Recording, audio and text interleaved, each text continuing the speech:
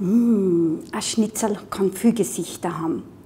Heute gebraten mit Schafskäse und Spinat gefüllt, hervorragend.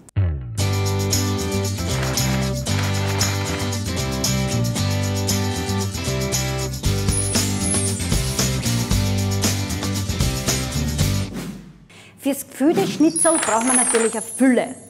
Wir machen heute eine Fülle mit Spinat, aber ich würde vorschlagen, halten Sie ihn da ein bisschen an die Jahreszeit. Das heißt, im Frühjahr nehmen wir einen Bärlauch, man kann einen Rucola verwenden. Einfach ein bisschen im Jahreskreis schauen, was wächst, was ist da, das nehmen wir. Heute haben wir gesagt, nehmen wir einen Spinat und ich nehme dazu einen Jungzwiebel. Dazu tun wir sie den Jungzwiebel schneiden. So, passt. Jetzt nehmen wir ein Pfandal. Jetzt geben wir natürlich ein bisschen Butter, Butterschmalz, auch was vom Geschmack her einfach passt. Geben wir rein. So. Jetzt gebe ich dazu gleich meinen Jungzwiebel. In dem Fall nehmen wir jetzt den jungen Spinat. Beim Spinat wirklich reingeben, dass er zusammenfällt. Und dann ist eben so ein Wasser, das braucht man dann nicht, das muss weg. Der Jungzwiebel fängt schon an zum Prasseln. So, geben wir den Spinat dazu und lassen das einfach ein bisschen zusammenfallen. In der Zwischenzeit können wir sich schon das Fleisch schneiden. Wir haben da die Schale und da schneiden wir sie eine Tasche rein. Eine Tasche heißt das, ich schneide nicht ganz durch, sondern ich schneide einmal an. So, stopp. Und jetzt ziehe ich das nochmal durch. Und jetzt schauen wir, jetzt haben wir da einfach eine Tasche drin. Das tun wir in der Zwischenzeit würzen. Ich drücke das nur so ein bisschen mit den Fingern auseinander, tue das Ganze würzen. Ich verwende Salz, aber auch sehr gern Kräutersalz, das man selber mischt. Passt.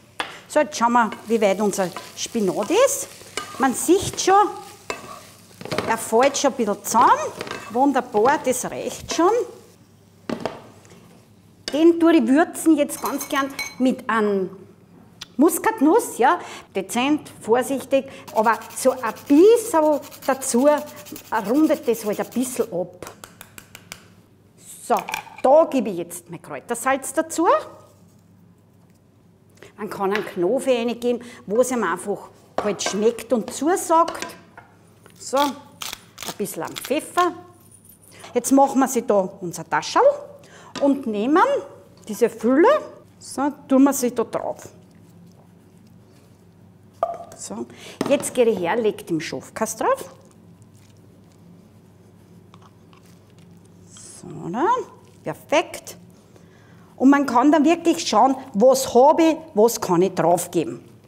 So, dass unser Schnitzel nicht zu sehr lacht, tun wir es jetzt zuspangeln. So, ich gebe zwei, man sollte sich das halt merken, weil dann dass man es wieder rausgeben kann, bevor man es zu Tisch bringt. Gut, jetzt stellen wir sie eine Pfanne her. Da geben wir natürlich ein bisschen Fett, weil ein Fett braucht ein Fleisch, ein bisschen weniger Geschmack schon alleine. Ich nehme wieder Butterschmalz.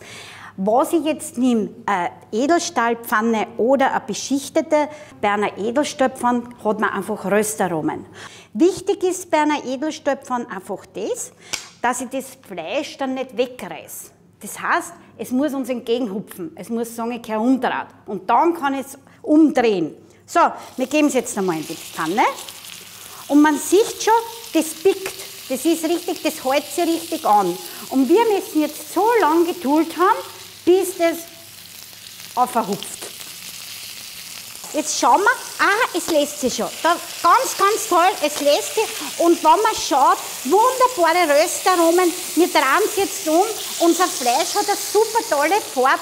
Und jetzt noch ein bisschen warten und dann ein frisches Kreidel drauf, aber nicht ins Fett, sonst verbrennt es wieder. Man kann auch so machen, man nimmt jetzt dieses gute Fett, was schon den guten Geruch hat, und gießt es jetzt so übers Fleisch drüber da hupft schon weiter. Wenn das Fleisch durch und durch diese Temperatur hat, dann lässt es sich sowieso. Und dann decken wir das zu und lassen das rosten. Einfach stehen lassen, rosten, entspannen. Das will, bevor es am Teller ist, einfach sich ein bisschen ausrosten. Und dann hat man auch dieses Saftel, dieses Wunderbare, dann passt es auch. Würzen, salzen, pfeffern, das tue ich erst jetzt dann. So, ein bisschen am Pfeffer drüber frischen, ein bisschen ein Salz, dann nehme ich gleich wieder das Grädelsalz. Da dazu den ich einfach ein paar Erdäpfel. Wir nehmen die Erdäpfel, tun sie in diesem Fett ein bisschen wurzeln und dazu passt am besten ein Blattsalat.